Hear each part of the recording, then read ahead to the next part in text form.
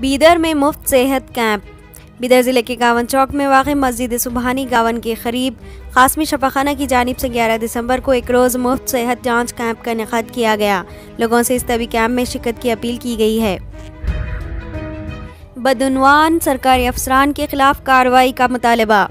खिदमत फाउंडेशन के सदर सैयद मंसूर अहमद कादरी ने बीदर ज़िले के मुख्तलिफ़ सरकारी दफातर के अफसरान पर रिश्वत लेने का इल्ज़ाम लगाया। उन्होंने कहा कि सरकारी दफातर में रिश्वतखोरी आम बात है। किसानों को सरकारी स्कीमों से वाकिफ करवाएँ रियासती वज़ीर प्रभु चौहान।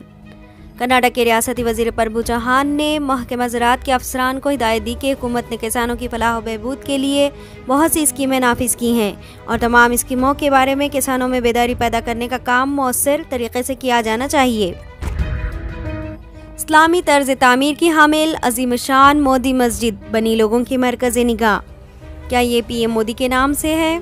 कर्नाटक की दारकूमत बेंगलुरु में एक खूबसूरत मस्जिद है और इसे मोदी मस्जिद कहा जाता है।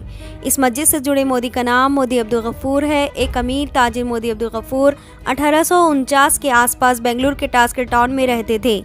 इस वक्त ये इलाका मिलिट्री और सिविल स्टेशन के नाम से जाना जाता था।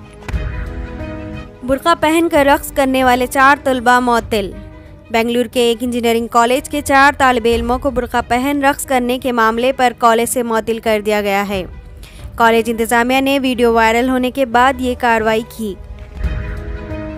मैसूर में महँगाई से आवाम बदहाल। मैसूर में बढ़ती महँगाई के पेश नज़र आवाम बदहाली का शिकार है।